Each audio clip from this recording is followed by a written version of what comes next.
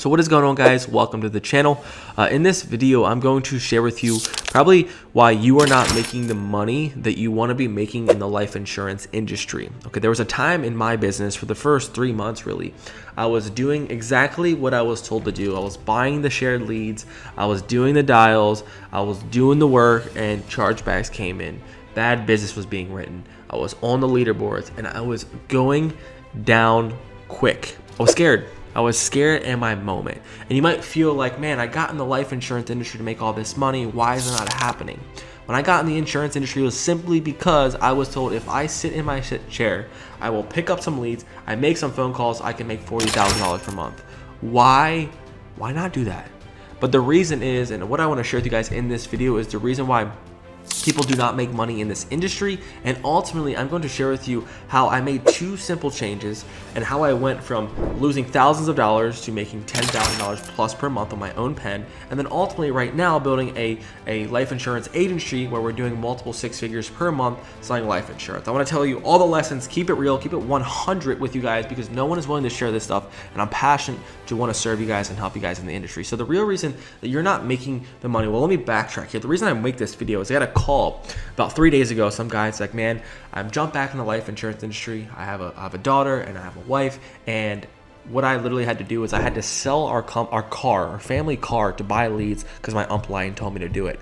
I lost all this money I couldn't pay back, and now I don't have a car, and I am stuck. So right now, if you feel hopeless, if you feel concerned, I want to share with you why you are not making money. And that story motivated me to make this video because number one, the product, the reason you're not making the money that you desire, want to make, that you thought you could make is because your product is terrible, okay? So let me break this down for you. There's two ways that your product is sucks, okay? First way is you are not good.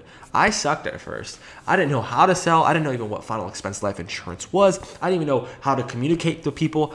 I kid you not, when I got started in the life insurance industry, my trainer told me to ask for someone's social security number in the first two minutes. Before we can jump into this, I want to make sure I have the right person on the phone. Can you verify your social security number? And if I would have did that my whole life, if I would have done that for the next six months, I would have made no money on a failed out of the industry. But the problem is that we come in, we get guided, we get put into this new position, this new opportunity vehicle with no training and no actual understanding of how someone actually has made or been successful. And then we're told to kind of figure this out by someone who's never been successful. So the reason that you are not getting the results that you desire or the money that you make is because you just don't know how to sell. You don't have the right training. You don't have the right products. You don't have the right fulfillment. You don't have the right tonality. You don't have the right question asking framework. You don't have the right objection handling skills. You haven't developed all these core skills that make you a successful life insurance agent and you're expecting to make all this money.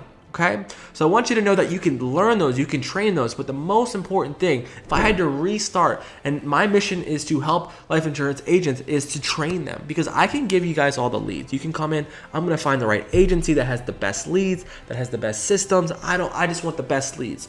But if you yourself doesn't know what you're selling, if you yourself has no absolutely no communication skills, if you have never sold a product in your whole entire life and you don't even know how to speak to a person, I can give you someone who is ready to buy, but if they don't believe in you that you're going to sell them an invisible product that's going to protect their family, then you're not going to buy and guess what? You're not going to make money, okay?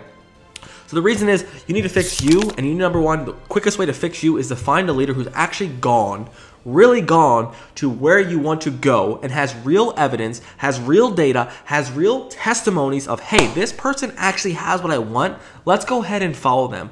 But the problem is, I jumped into an IMO where the people that were leading me had no idea what I was doing, had no idea like how to even become successful, and I was bet- betting on them. Okay, so the first problem is that you are not good at what you need. You need new training, you need more leadership, and you need to develop more skills. Okay, second thing, crucial, crucial point why your product sucks. Okay, so number one is that you are part of the product.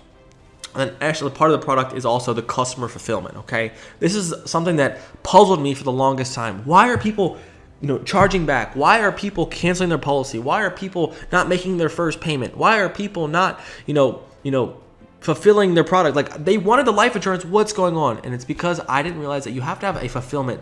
You know, everyone talks about life insurance that you need to get your life insurance license. You just sell, pick up the phone, make some life insurance sales, and you're just on with your day, and all the money just comes flooding into the insurance company. That's not how it works. You have to sell a product. So you have to sell yourself, and then you have to sell a product, and then you have to fulfill that product to make a customer happy, little happy face there, so that they can continue to pay for their policy so that you can get paid continually. Okay, let me break that down for you. Customer service. Three things that you don't know about customer service that you need to know. Number one, um, you're selling an invisible product that people need to have fulfilled.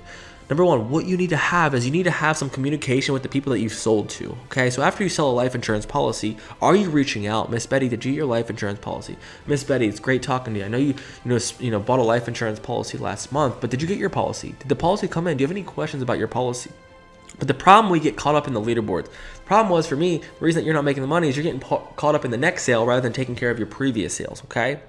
The second thing is you need to handle any concerns that your clients have, okay? When the policy doesn't come in and Miss Betty calls you and you don't answer and you're not there for her, what is she going to do? She is going to cancel. She is going to find another person who's going to take care of her, who's going to be there for her, and she's going to basically say, peace out. I have no commitment. This guy called me once. I sold, he sold me a life insurance policy and he expects me to stay and he's not even going to pick up my phone calls.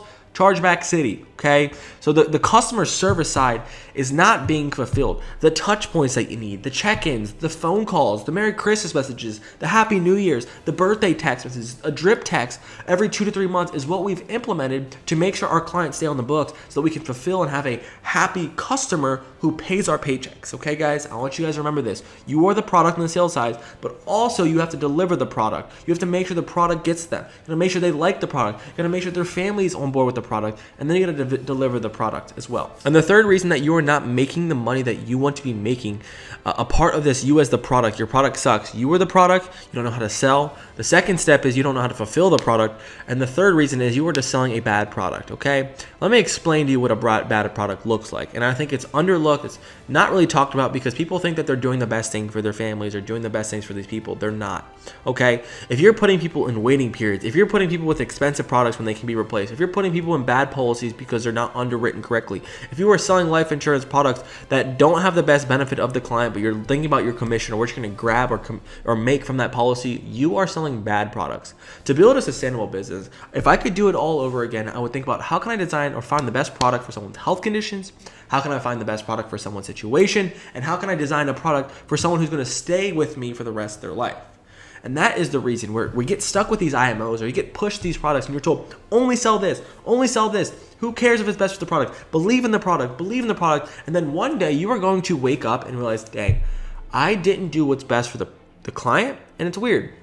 They charge back or they left, or I got the text, I found a cheaper better policy, or they're gonna say, oh man, I don't need the policy because I found something better. And if you are not designing your products, if you're not working with a company that's giving you the best products to actually sell that you can believe in, your whole sales process of who you are is going to be you know influenced. If you're not going to understand how to fulfill that product to the best of your ability because the product that you sell sucks you're going to be scared of the client you're not going to listen to the when they call back. When they call you you're going to think they're going to be replacing your product. You're going to think man they probably found something better. I'm not going to pick up this call i was there. And then lastly if you're not selling products that are literally best or designed for people's situations their health conditions their income not designed for you know what type of policy they're looking for and their needs they are going to leave. So the reason that you're making a lot of mistakes and losing money and getting the chargebacks, guys, and you know thinking that you could you know make all this money, but you're not. It's because you need to make a lot of different improvements. And I went through this, guys. I lost a ton of money. I remember sitting there thinking, how am I gonna make this work? Open up my computer, chargebacks, lead bill comes out. Why are these? These are better leads. I'm gonna buy this lead course. My whole business is gonna change. It didn't and the and the and the and the pain and the continual pressure built up and the continual mistakes built up because I didn't have these situate things ironed out. So a lot of people right now are like, man, buy the next lead course, it's going to change your business, or go to this new IMO, it's going to give you the highest commission, it's going to change your business, or you know, try this new platform or this new next thing that's going to change your business. Complete bs you are the product guys. I'm going to end with this. You as the agent with what's out there in the mlm models they are literally trying to take advantage of they're coming for your pockets in a way okay? A lot of these imos are not structured to make you successful because think about it they don't have the training in place to make you better. They don't have you know the people that are leading you and guiding that have helped you get to where you want to be. So they're going to bring you in and supposedly you're going to be that next person. Doesn't make sense. Secondly, they're going to probably sell you some type of lead course or some training course. They're going to sell you something with whatever you are because you are desperate, you are needy, you are getting hit with the chargebacks. You're not making the money, and you think you can make 40 grand, but you're like, man, I'm only making a thousand or I'm losing 6,000. I need to buy something that's going to fix this all. I've done it. I've done it. I've been there. I've spent $6,000 on a course that I did absolutely nothing for me, okay? And the third thing is that your IMO, your leaders are say, sell this product, sell this product, sell this product. And you're to sell the product. You're not to believe in the product. It's not to be the best for the product. They're to place it. And you're not to have the conviction in the product anymore. And they're to say, where's my policy at? You're not going to answer them. They're to say, you know, where is, you know, you know, what's going on with this policy? Can you answer? And you're so flooded about finding the next client because your bank account's depleting and you need to make the next sale and you've neglected your previous clients and your clients are not getting fulfilled so what happens? You lose money. It's this never ending loop of waking up oh my gosh, stress, scared to open up the computer. How am I gonna make this thing work? And all of a sudden, it's all because of you need to be fixed, your customers need to be fulfilled, and ultimately, you need to find products that you actually believe in so they can build something that you actually are behind that you can make money. So here's the real reason why you are not making money in the life insurance industry. I'm gonna share with you the side of the industry no one's able or willing to share. Love you guys. Hope this help you help you understand the possibilities. And if you can iron these out, you can make a ton of money. You can do so well for yourself. But just think about these three things here so that you can perform, that you can make more money, and you can succeed in the life insurance industry. Love you guys. Take care. Peace out. Cheers.